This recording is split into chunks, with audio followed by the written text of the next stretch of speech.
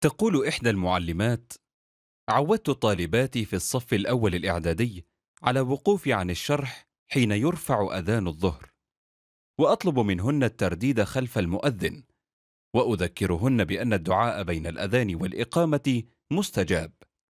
وفي كل مرة كنت ألاحظ إحدى طالباتي تستغل الفرصة دائما، وتدعو بين الأذان والإقامة بإخلاص كبير، وترح في دعائها أكثر من زميلاتها.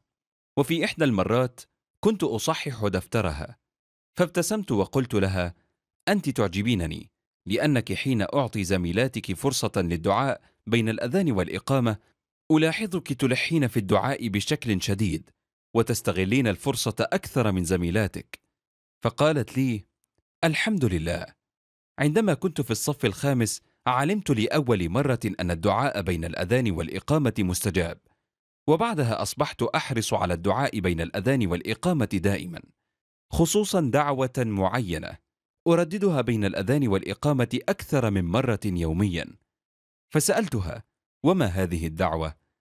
قالت الطالبة بأسلوبها البريء بعد أن أنجبتني أمي لم تعد تنجب بعد ذلك وعمري الآن ثلاثة عشر سنة وليس عندي أخوات وأغار من صديقاتي عندما يتحدثن بحب عن أخواتهن وأتمنى أن تكون لي أخت فأنا أدعو الله دائما أن يرزقني بأخت لكن أمي حين تسمعني تقول لي ادعي الله أن يرزقنا الولد لأن لدينا بنتا هي أنت. فأنا أدعو الله في كل مرة أن يرزقنا بولد لأجل أمي ويرزقنا ببنت لأجلي ويرزقنا بولد آخر حتى لا يصبح أخي وحيدا. فقلت لها اللهم آمين. وأعطيتها دفترها ونسيت القصة. ثم دارت الأيام ووصلت البنت للصف الثالث الإعدادي. وفي أحد الأيام كنت أمشي فقابلتني الطالبة ذاتها وقالت لي بفرحة كبيرة يا معلمة أبشرك لقد أنجبت أمي بالأمس ثلاثة توائم ولدين وبنت. فقلت لها في سعادة ودهشة سبحان الله. لقد أخذت درسا لا أنساه من طالبتي في إلحاحها واستمرارها في الدعاء وحسن ظنها بالله عز وجل. فادعوا الله وأنتم موقنون بالإجابة. ادعوه واستغلوا أوقات الإجابة. فالله سبحانه قريب من عباده. وإذا سألك عبادي عني فإني قريب أجيب دعوة الداع إذا دعان. فليستجيبوا لي وليؤمنوا بي لعلهم يرشدون.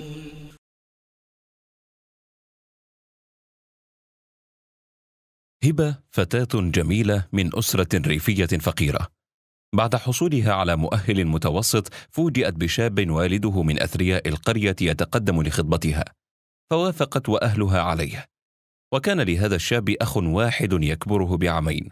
يغلب عليه الهدوء وطيبة القلب. وبعد عام من الزواج أنجبت هبة طفلا جميلا فرحت كل العائلة به. وفي هذا اليوم فاتح الأب ابنه الأكبر في مسألة الزواج الذي كان يؤجله باستمرار. فابتسم وقال له وهو ينظر لابن أخيه ابحثوا لي عن عروس. نزل رد شقيق الزوج على هبة كالصاعقة وعندما انفردت بزوجها قالت له في غضب أنت الذي تدير أملاك أبيك. ومن حقك أن تنال في النهاية هذا الإرث ثم يكون لأولادك من بعدك. ولو تزوج أخوك وأنجب سيحصل على نصف الميراث. فإن أصر شقيقك على الزواج سأرشح له سيدة مطلقة جميلة وتتمتع بأخلاق حميدة. ولكنها لم تمكث مع زوجها سوى عام ونصف وقام بتطليقها لعدم الإنجاب. وافق الزوج. واستطاعت هبة أن تقنع الجميع بالعروس. وقال لها شقيق الزوج سعيدا توكلت على الله. وخرج إلى المسجد لصلاة العشاء. تم عقد القران والزفاف وشعرت هبة بنشوة الانتصار وبأن خطتها للاستيلاء على الميراث تمضي كما رسمتها. ونسيت تماما قول الله في قرآنه الكريم ويمكرون ويمكر الله والله خير الماكرين. وقول رسوله صلى الله عليه وسلم إن الله لا يملي للظالم فإذا أخذه لم يفلته. وبعد أشهر قليلة فوجئت هبة بما لم تتوقعه. إذ حملت زوجة الأخ ثم وضعت توأمين جميلين وأصبح حلم هبة سرابا. وكبر الولدان وأنجبت زوجة الأخ ابنا ثالثا. بينما توقف إنجاب هبة تماما وأدركت أنها سوف تجني ما زرعت. وبعد سنوات توفي الابن الوحيد لهبة في حادث سيارة ثم لحق به والده حزنا عليه. وانتقلت هبة للمستشفى لإصابتها بصدمة عصبية شديدة. ولما أفاقت وجدت شقيق زوجها وزوجته وأولاده الثلاثة يبكون جوارها بمرارة. والأبناء الذين حاولت أن تمنع وجودهم في الحياة ينادونها بكلمة أمي ويخدمونها بحب كبير. فعلمت أن من يتخيل أنه قادر على أن يفعل ما يريد فهو واهم فالقادر هو الله ونحن البشر مهما فعلنا فلن نغير قدره سبحانه وتعالى. فالله يفعل ما يشاء والمكر السيء لا يحيق إلا بأهله. علمت ذلك بعدما شاهدت وشعرت بمدى حب أبناء شقيق الزوج لها ومعاملتهم لها كأمهم تماما.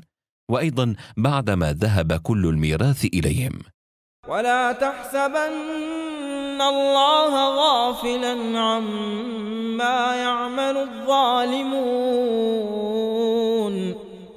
إنما يؤخرهم ليوم تشخص فيه الأبصار مهطعين مقنعي رؤوسهم لا يرتد إليهم طرفهم وأفئدتهم هواء وأنذر الناس يوم يأتيهم العذاب فيقول الذين ظلموا ربنا أخرنا إلى أجل قريب.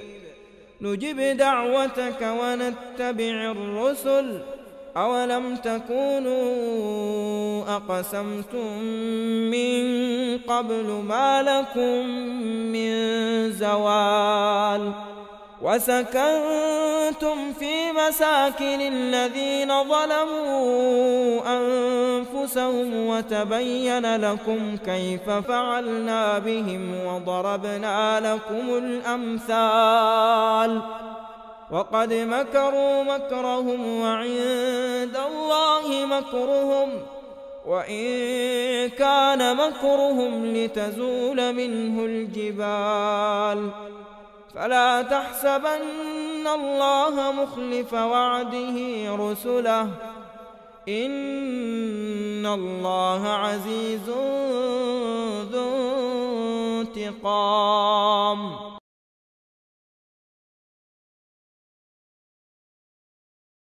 المال والقرآن.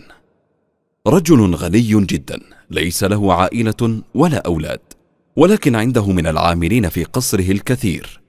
وفي يوم دعا جميع العاملين عنده على العشاء ووضع أمام كل واحد منهم نسخة من القرآن ومبلغا من المال. وعندما انتهوا من الطعام سألهم أن يختاروا إما المصحف الشريف أو مبلغ المال الموضوع مع القرآن. فبدأ اولا بالحارس وطلب منه أن يختار دون خجل. فقال الحارس كنت أتمنى أن أختار القرآن لكني لا أعرف القراءة لذلك سآخذ النقود. فهي أكثر فائدة بالنسبة لي. ثم طلب من البستاني كما طلب من الحارس فقال البستاني إن زوجتي مريضة جدا وأحتاج للنقود حتى أعالجها ولولا هذا لاخترت القرآن. بعدها طلب من الطباخ أن يختار. قال له الطباخ أنا أحب القراءة ولكن عملي الكثير لا يترك لي وقتا لأقرأ لذلك سأختار النقود.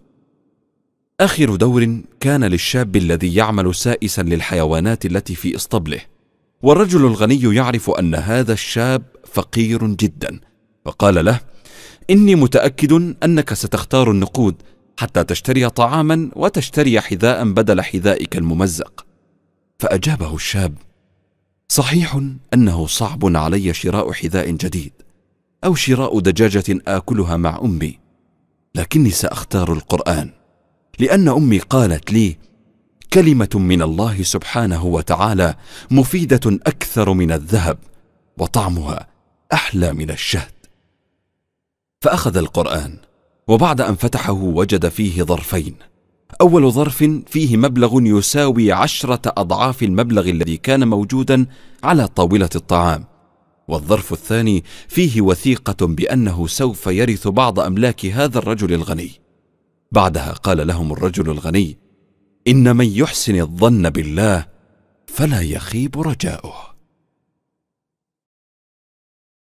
الحمد لله الذي أنزل على عبده الكتاب ولم يجعل له عوجا. قيما لينذر بأسا شديدا من لدنه ويبشر المؤمنين الذين يعملون الصالحات أن لهم أجرا حسنا.